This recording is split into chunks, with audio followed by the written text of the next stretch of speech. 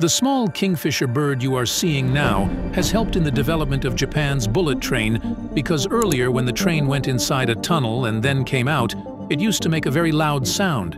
But then Japanese scientists paid attention to this bird and noticed that when it dives into the river to catch fish, it does not make any sound at all, and then the bullet train was designed keeping this bird's body in mind. And you won't believe that this method worked.